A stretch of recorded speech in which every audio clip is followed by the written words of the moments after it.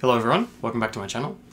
Today I'm going to make another video about the TOPIK test because I got a number of comments on my previous video asking me to go into a bit more detail about the various sections and how I would prepare for the test. So in this video I'm going to go just into the listening section of the test. And then in some later videos I'll go into the reading and the writing and maybe some other tips for preparing for the test. Uh, first, I'm going to show you the different types of questions that can appear on the test. And then after that, I'm going to show you how I would go about solving one of the questions under exam conditions. And finally, I'm going to show you how you can use these past listening exams to prepare for a future TOPIK test that you want to take. But first, before we begin, I want to show you the results from my most recent TOPIK exam, which I took at the end of last year. So when I took the TOPIK exam two years ago, I did a lot of intense study for about four or five months before the test, and I was able to sort of scrape by and get a, a good score. But this time, I did almost no preparation for the test itself, but my Korean overall has improved a lot. So I thought it'd be interesting to see how the results uh, compare.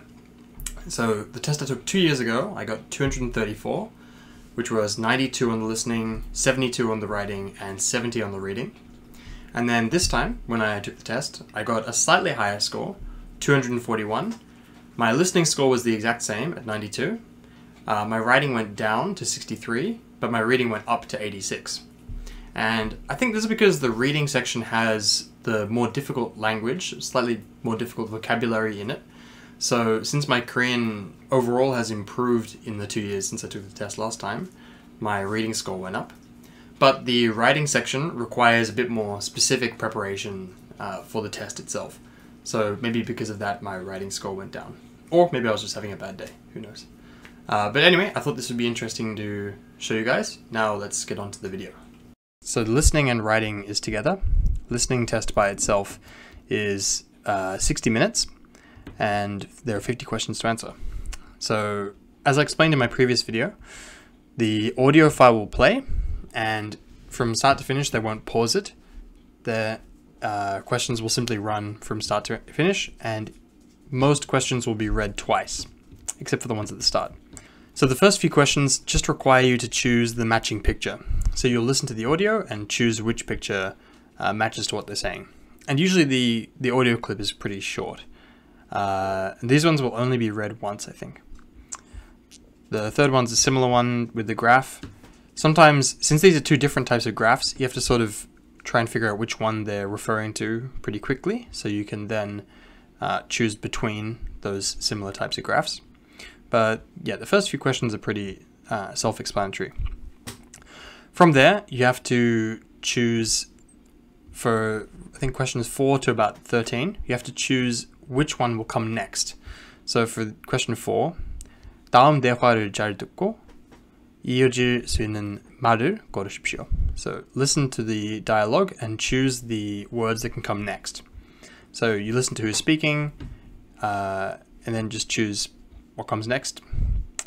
For 9 to 12, it's pretty similar, uh, but you say instead of what they're going to say, you're going to say uh, choose the option that describes what they're going to do next. So 다음 대화를 잘 듣고 여자가 이어서 할 행동을 알맞은 것을 고르십시오. So the important thing to note when you're reading these questions is first if it's the man or the woman who's doing it, and then also what they're asking you to choose. So sometimes they're asking you uh, choose the one which best describes what the woman is saying, or for example, choose the answer which best describes uh, what the who the man is. Um, so yeah, you make sure you read these questions and pay close attention to whether it's a man or a woman and what they're asking you to uh, to describe. Anyway, from 13 until the end, they're all basically the same. It'll be listen to this and then choose which one matches. Now these can either be choose which one matches the contents, so 내용, choose what matches the contents. Uh, if I go down here, for example here, 남자가 여자에게 말하는 의도를 고르십시오. So choose which one best describes uh, the man's intention in talking to the woman. So what is he trying to do? Or here, uh, yeah, choose the one which matches the content, 들은 내용, the content. Uh, or here, 여자는 누구인지 uh, 많은 것을 고르십시오. So choose which one best describes who the woman is. Um, or here again, same one, 들은 내용, which one matches the content. 남자의 생각으로 알맞은 것을 고르십시오. So choose which one matches the man's thoughts. Or here, 남자의 태도, the man's attitude. So if you just read the questions, they're generally pretty easy to understand here. So those are all the types of questions, basically. They're all very similar. You just have to listen and choose the one that matches uh, the closest. Okay, now I'm going to go through how you would solve one of these questions in the test situation. Uh, just remember that in the actual test, you have to be doing everything quite quickly. So I'm going to take it slow now, but during the actual test, you have to rush a little bit. So before we even hear the question, you need to have read all of the possible answers so that while you're listening to the audio, you can eliminate the wrong ones and you can be um, choosing your correct answer that you want to put in. And this is why time management is so important in the listening section because you have to sort of stay ahead of the recording.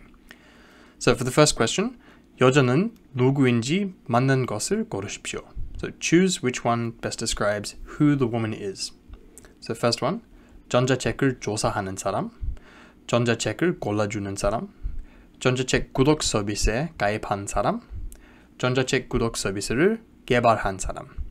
And for each of these answers, I would be highlighting one or two keywords that tell you uh, who it is, so that when you're choosing your answer, you can quickly refer to it and you don't have to read the whole thing again. So for the first one, I might highlight Josahanen, so the yeah, investigating person, or Jonjajek Gollajunen, choosing person. For this one, Jonjajek Gudok Sobis, so since these are both the same, the word that's different is here, so Gaipan, subscribing person, or Jonjajek Gudok Sobisiru, Gebarhan Saram, developing. So is she investigating electronic books, choosing electronic books, subscribing to an electronic service, or has she developed an electronic book service? Next one. 들은 내용으로 맞는 것을 고르십시오. So choose the one which best matches the content that you've heard.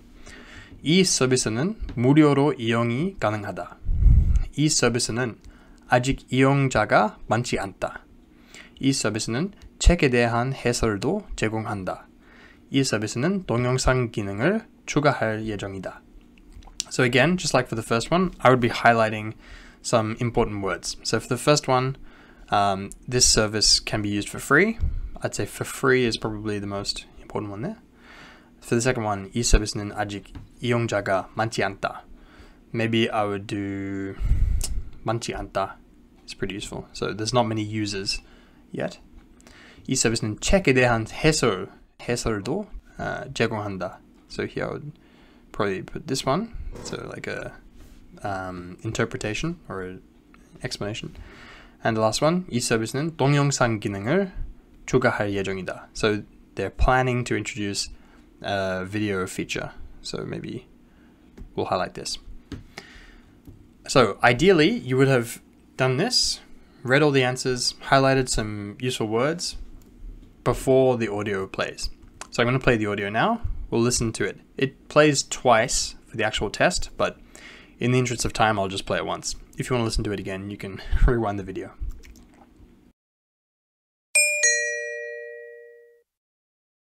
다음을 듣고 물음에 답하십시오. 두 번 읽겠습니다. 사장님께서 만든 전자책 구독 서비스의 인기 비결이 뭐라고 생각하세요? 독서를 위한 다양한 서비스를 제공한다는 점이겠죠. 우선 매달 이용료를 내면 수만 권의 책을 얼마든지 읽을 수 있고요. 어려운 책은 전문가의 해설을 들으면서 읽거나 요약본으로 볼 수도 있어요. 모든 책에 음성 지원이 가능해서 이동 중에도 내용을 들을 수 있습니다. 최근에는 책의 내용을 만화나 동영상 등으로 소개하는 기능도 추가하셨다고요. 네. 더 즐겁게 독서할 수 있는 여러 방법을 계속 고민 중이에요. 다시 들으십시오.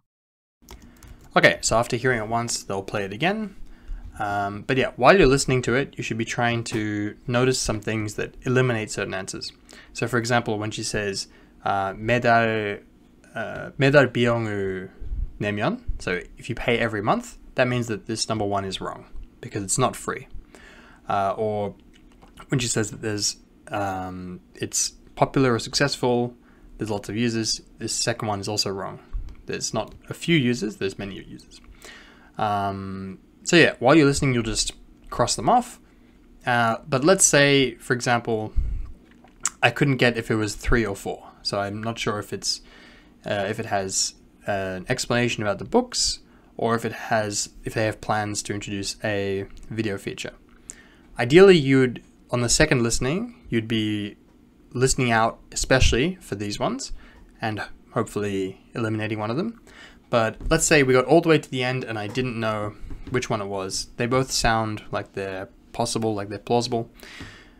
I would say choose the most logical one, the one that makes the most sort of logical sense to you, given the story. But if you really can't choose between them, just leave it, and then at the end of the listening test, um, when you get to the last question, then you can choose your guesses for all of the questions that you skipped before. So, yeah, that's how I would go about answering these questions. And then as soon as you've answered this question, remember, you need to start reading the possible answers for the next one. So you really need to stay ahead of the audio so you can get everything ready before you even hear uh, hear the, the audio file. So now that we've seen how to solve the question, I'm going to show you how you can use these past exams to help you study. So if we look at the same question, I have here the transcript of the uh, of the same question, of question 29 and 30. So here we can read and listen to the exact same question that we just saw. And I would say the most useful thing you can do here is to read through and highlight the words that you don't know. So you can just make a note as you're going through, okay, I don't know this word, or I don't know this ending, just highlight them all so that you can look them up, you can break them down, and you can see what sort of gaps in your knowledge exist. So if we read them here. 사장님께서 만든 전자책 구독 서비스의 인기 비결이 뭐라고 생각하세요? So let's say, okay, 사장님, uh, let's say maybe I don't know, uh, I don't know what 개서 is. Okay, I'll highlight that. 전자책 구독 서비스, uh, maybe let's say I don't know 구독, and I don't know 비결, for example. So um, you'd go through and highlight these words. Next, docs holder to Ihan, So you just go through the whole thing, highlight whatever words you don't know, uh, and whatever endings. So let me just maybe select another couple of examples here. Um, maybe, let's say I don't know, maybe manhua, and then maybe I don't know this ending, like hashotaguyo, let's say. I don't know this. Okay, so once you've highlighted all these words, we're going to go to Naver Dictionary, and we're going to look up all the words that we didn't know. So for example, uh, the first one was an ending, was GSR. So if I type that in here, oops. If you type this here, you can usually search up endings as well. And it'll give you a brief information, uh, a brief uh, sort of description of it here. So ga yi and nopimar. So it's the same ending as ga or i, but it's for uh, a person of higher status than you. And it can mean from, but uh, it means the subject marker. Or if we look at the next one, we had Gudok. And we look it up and we see it means subscription. So Gudok service would be subscription service. We had bigger.